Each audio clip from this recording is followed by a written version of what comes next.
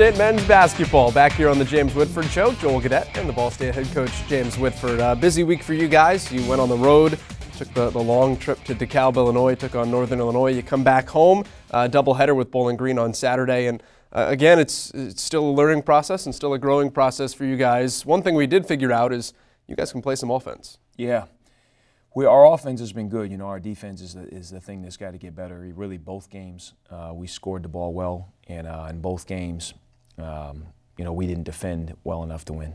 Let's talk about Northern Illinois first, because we've talked earlier on this show in the season about two-point field goal percentage and mm-hmm. not being where it needs to be. Mm-hmm. You include Northern that game and the three games prior, 61 percent. You guys made your first nine twos. You didn't miss in the first half. Yeah, it's kind of where you want to be. It is. You know, we're, we're trying to play inside out. I thought we shot a few too many threes against Northern Illinois, but uh, you know we're we're good inside, and in particular with the emergence of Franko House. You know, he's he's uh, he's he's leading the conference in field goal percentage, and uh, is doing a great job, and is creating shots for both him and other people. He's also second amongst forwards in the Mid American Conference in assists or an assist rate. So he's a guy that doesn't just do it for him, right. but does it for other people as well. Let's start off early. It wasn't Franko House that uh, had the good offense in the early going. It was Bo Calhoun on the interior. And then we see some of his stretch game going in the, the 15 to 17 foot range. Yeah, Bo's, uh, Bo's much improved as a shooter, really improved since last year, and is helping us a lot on the offensive end. And then Jeremiah Davis, who had been in a funk offensively, has kind of brought his way out of that. Uh, JD with the jumper to get it to a 9 6 game. Then Sean Sellers, the three pointer off the paint touch, which is big that's what we talk about is, is those threes. Here's another one where ball gets inside, and although Franko shoots that one, if he chooses to pass, he's going to get someone a great shot. And uh, as long as we get it in there, we're, we're getting good looks. Here's another one getting it inside. Bo Calhoun, the kick out, the one more. That's perfect offense. It is, and we're doing a good job. You know, I'm, I'm, pleased with where we are in the offensive end. We really have a share of the ball mentality. We have seven players who have scored in double figures in conference this year. Daryl Bowie forgets the basketball in that drive, cards with the steal, and take advantage the other way. Again, paint touch, although it's high, then you give it into Franko. Yeah. Full head of steam, lays it up. Yeah, great basket, and as you can see, the quality of the shots we're getting. We're not hitting tough shots. We're getting the ball into the paint. Jeremiah Davis, five, six footer, getting uh, really good looks at the basket. Northern Illinois had its share, though, and in transition, it's Trayvon Baker. Buries the three. He was four of six from deep on the game. Cardinals lead cut to just two there. 90 seconds left to go in the half. Zavier Turner the pass to Aaron Armstead. He goes coast to coast, lays it in. Northern Illinois takes the lead there and uh, nine steals in the game for NIU. We go to the halftime break though, and toward the second half, Cardinals came out again pretty well on offense. Francis Kiapway has been red hot from three. Yeah, and I couldn't be happier. You know, he had missed a lot of time in the summer and in the fall, and uh, took him a while to get his rhythm. But boy, is he playing good basketball. Don't dare Bo. Too much space. yeah, Bo, Bo, that's a good shot for Bo. We run that play, you know, in case they don't guard him. Zavier made the right read and hit him for a three. I watched this play three times, trying to figure out who was supposed to guard Rocco. I couldn't figure it out. You had him in rotation. Yeah, we did, and then that's uh, when we play Rocco and Bo at the four and the five. We're small, so we try to move those guys out to the perimeter, and, uh, and it loosens them up to get shots. That was the last lead for the Cardinals, though. Michael Orris, who had hit one three all season, knocks down two for Northern Illinois. Then Eric Armstead, who's really twitchy, gets inside. Marin Maric, their redshirt freshman big man, with the putback, the celebration. Cardinals uh, kept trying to push it though on the other side, and you actually get within four here. Mm-hmm. But Northern Illinois an 8-0 run over the final two minutes after you guys had an 8-2 run, and again it came down to, to not being able to get stops. Yeah, you know, we had our. I think this was our. Uh, was it our sixth road game? And I believe in all six road games we had second half leads, including this one. There's another inside-out basket the way we want to play. And, uh, but you know we're, we're a little undersized. We're a little bit worn down as we're only playing seven, but nonetheless uh, we have to defend better. And, uh, we will here down the stretch. 75-63 the final score in that one. And we didn't even talk about him. We didn't see him in the highlights, but Jordan Threloff I think was case in point there. Their big man mm. goes six of seven limited his catches because he only took the seven shots, but he right. was six of seven. It was really the difference in the game because they started out to start the game. I think he got three of their first four touches and really forced us to collapse inside quite a bit to try to contain him. And as we did, it opened up things for other people. You bounce off of that. You've now seen everybody in the conference, mm -hmm. and I, I, told you uh, before the game. I go, I, I think that's kind of that's got to be an anomaly. You've played everybody mm -hmm. once, nobody twice. Uh, how do you feel about the lay of the league? Well, the league is terrific. Yeah, it's just not my opinion. It's it's uh, you know the, it's the fact. It's a fact. You look at the numbers. It's the best the conference has been in 15 years, and um, and it's the strength of our league is is the depth of it. You know, the Missouri Valley has two elite teams, and three through 10, they're not near as strong. Uh, our conference, 1 through 12, is very, very good. Let's take a look at uh, the team you played second 1st mm-hmm. and that mm-hmm. was Bowling Green on Saturday. And I, I think we figured out that of, of the league being very good, they are kind of surprisingly the, the cream of the crop of that. Chris Jans has done a nice job in year one. He has done a really good job. He's a really good coach. He's he's uh, you know he's he's inherited a lot of veterans and nonetheless was able to change styles and get them to play very disciplined basketball. They take care of the basketball. They're fundamentally sound on the defensive end and and uh, probably as much as anyone in our in our league, they don't beat themselves. If you're going to beat them, you gotta you gotta play a very good game. When we played Buffalo, you talked about Justin Moss potentially as a Player of the Year candidate mm. in the mm. MAC. Would you like to change your vote? well, I, I, think they're both there. You know, you know, Richaun Holmes is a much better defender than Justin Moss. Justin Moss is probably the offensive player of the year in the conference. Richaun Holmes is the defensive player of the year uh, and one of the best defensive players that's come through this conference in my 15 years. I mean, he's just, he's an elite defender. Richaun Holmes in this game, 20 points, seven rebounds, four assists, three blocks, one steal no turnovers. It was a heck of a day for Richaun Holmes. Bowling Green gets out to a 5 0 lead early. You guys had some punchback, though, in the early going. Sean Sellers, the three, makes it a 5 3 game. That was Sean's only bucket of the ball game, though. He finished uh, one for five from downtown. Jeremiah Davis, though, we talked about him finding a groove offensively. He continues that, and again, drive and kick. You get the paint touch, you get an mm-hmm. open three. Yeah, Jeremiah's getting more comfortable. He's a little bit like Francis, had missed a lot of time, and, and you know, basketball is a rhythm game, but he's, he's getting more and more comfortable with each day. Rocco Belcaster, 83% of his shots are from three. Took one step inside the arc, yeah. they sagged off him. He knocks down the 19-footer. On the other side, it's uh, Henderson knocking down the three with the foul on a tough one for Jeremiah Davis. He converts that. So 18 13, and then you see the athleticism there. Richaun Holmes is a big guy, and he runs the floor. Yeah, he really runs the floor and, and um, is, is dynamic and scored every place on the floor in offense. Again, more great ball movement. Francis Kiapway, the three. Team high 16 points for Kiapway. And then it's Zavier Turner and Franko House, little two man inside the paint. And there's some speed and athleticism, and Spencer Parker just couldn't guard him.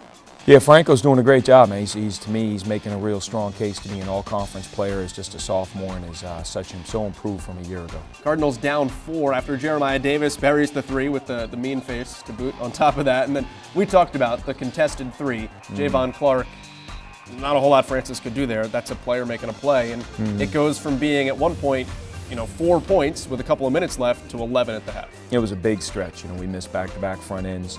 They made two free throws on a bonus and then hit that three in a four-point game, went to 11. I thought it, it uh, really took the wind out of our sails. And it ballooned early on here in the second half as well. Cardinals still had some fight back, though, as the lead kind of jumps here to 13, 14, 15 points. Bo Calhoun, the layup and the timeout. And now 18 points is Bowling Green's advantage six minutes in.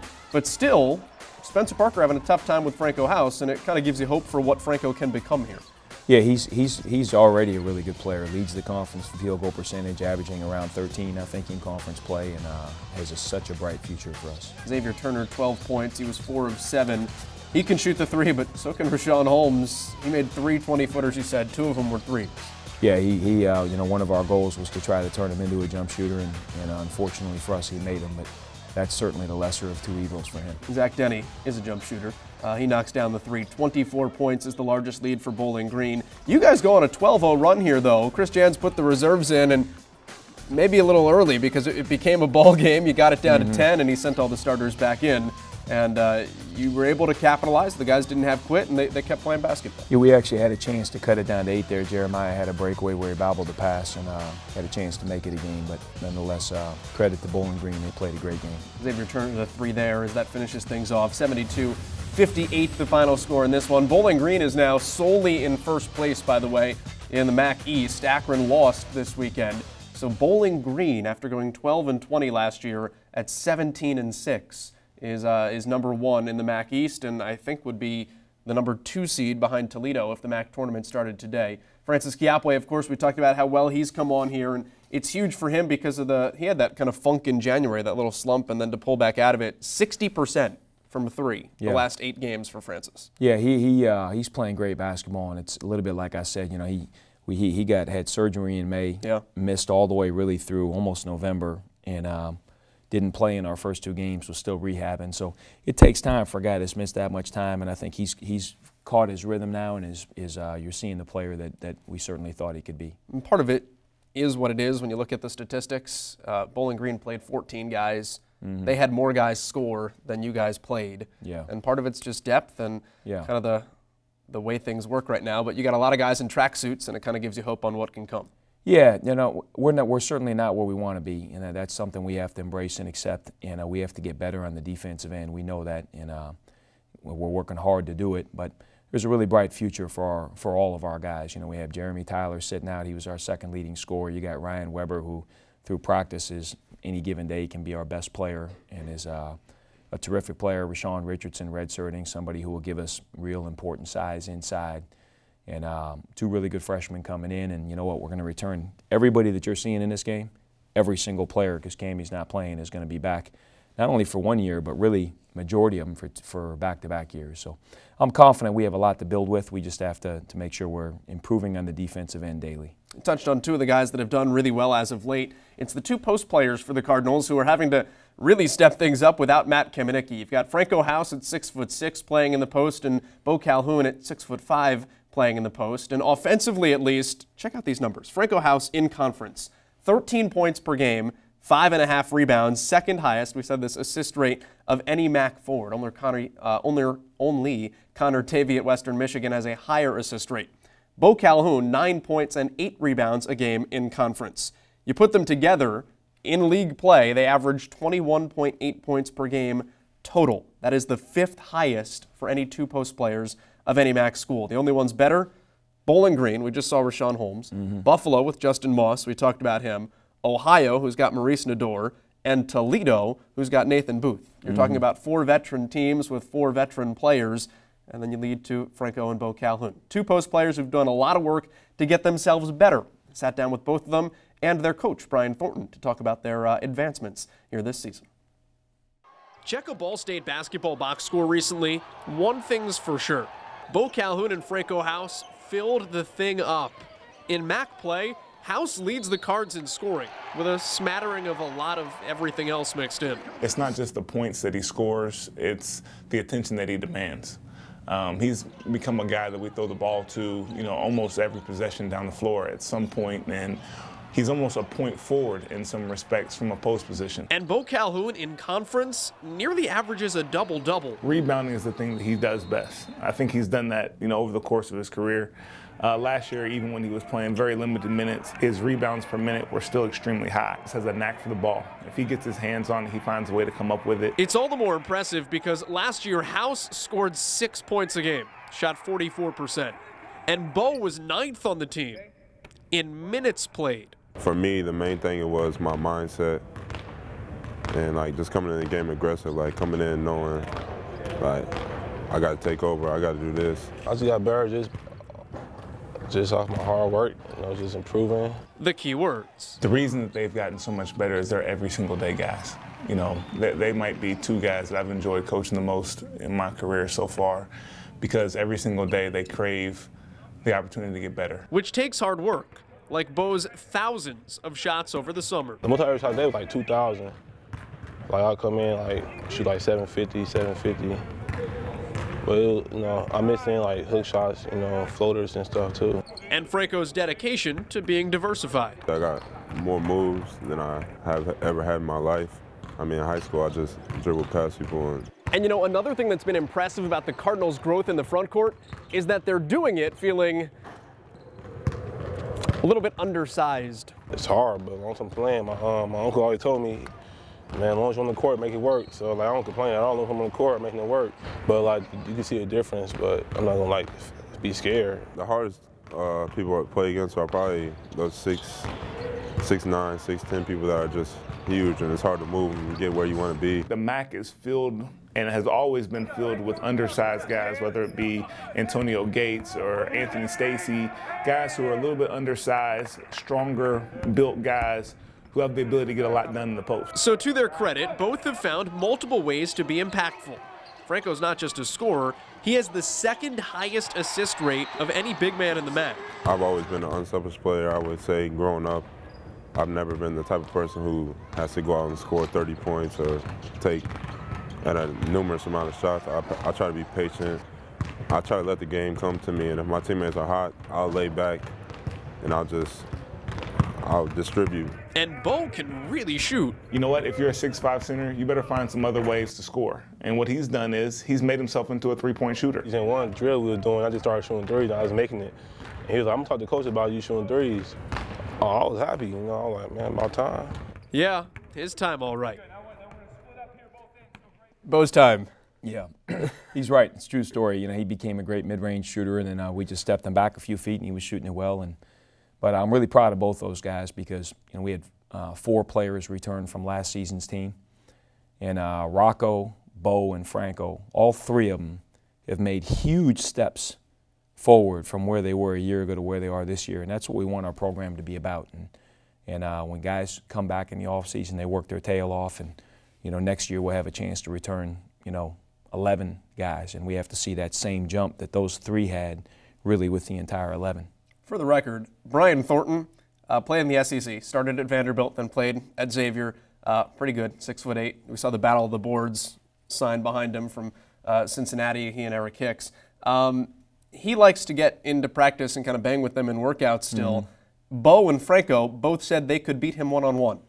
So we have to set that up. Uh, well, I have to see it to believe it, but um, Brian's certainly not in the shape that he that he once was. But uh, but I think I still have to see that to believe it. Let's talk about uh, some history in, in post players too for this program. Uh, our second edition of Cardinal Flashback, and I don't want to say post because he's not a post player, but Dennis Trammell was a pretty big guy and a guy who's still very much around this program uh, here today. Somebody who back in the early 2000s had some really good years for Ball State. Let's take a look at our second Cardinal Flashback. Our first was Petey Jackson. Our second Dennis Trammell.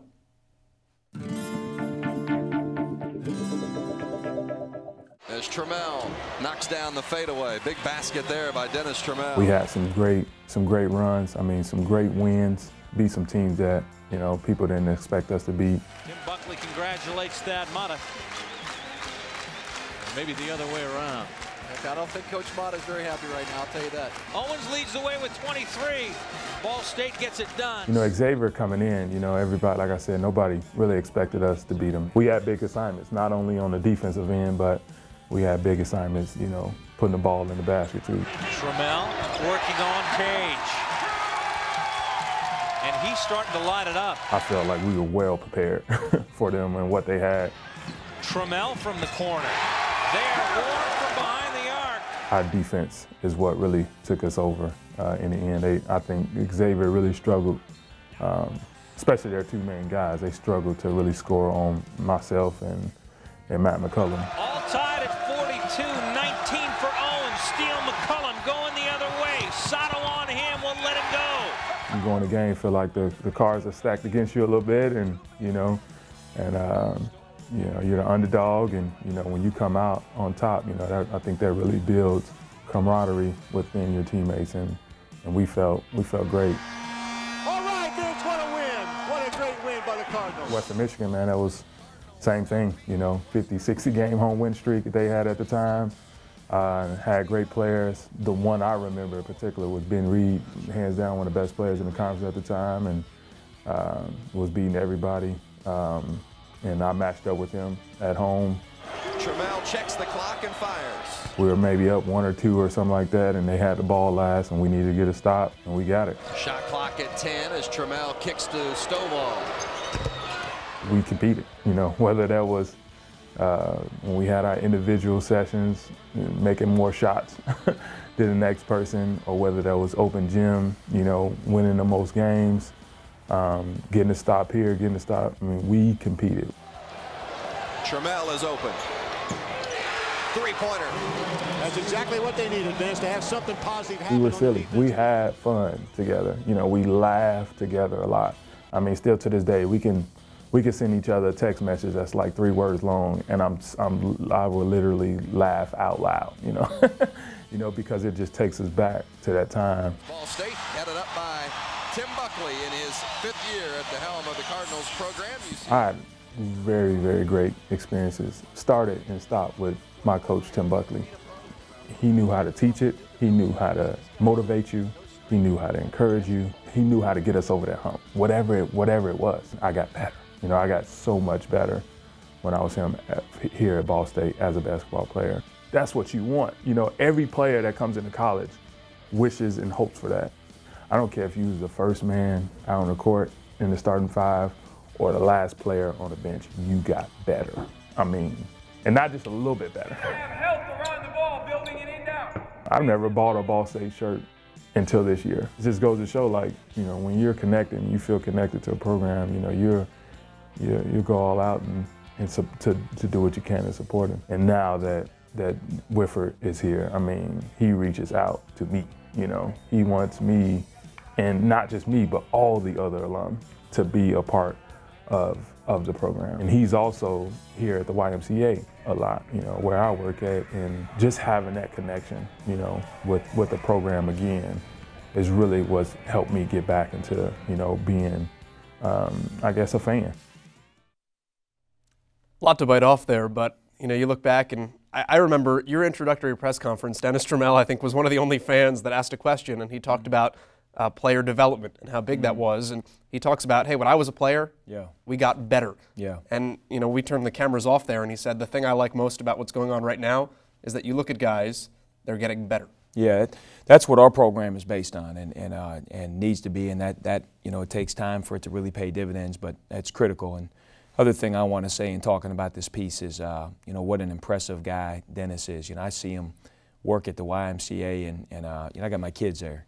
You know, I'm heavily invested as a father, and it's one of the best programs uh, I've seen for young kids, and it's um, he's really inspirational, and he touches a lot of lives, and it's Great, great example of someone as a student athlete who really developed, he grew, he gives back, somebody the entire program should be proud of. And he talks about some games too that when you look Mhm. back on, that's where you want to get this program. Get Xavier Yeah. in here and beat him. No, I watched, I watched that game. I still remember it. I'll never forget uh, watch it because I was I knew Thad and Sean really well. I was coaching at Miami of Ohio in the same conference, and uh, I watched that game, and it was a great win by Ball State, and it was great to see the energy in the gym, and that's certainly where we're we're trying to get it back to. Let's talk about uh, the baby steps to do just that. Uh, next game up for you guys is Kent State. Mhm. Um, it's a team that you guys have played once. You're going there now.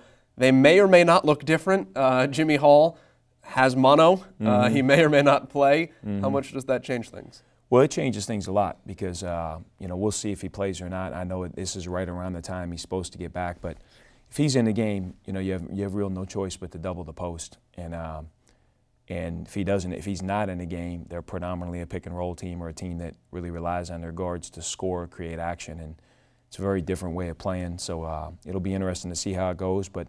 Because we know he could be back, we certainly have to be prepared for both. Let's take a look at the Golden Flashes right now, who are at the top of the MAC East. Not the team at the top, but one of the, the grouping at the top of the East right now.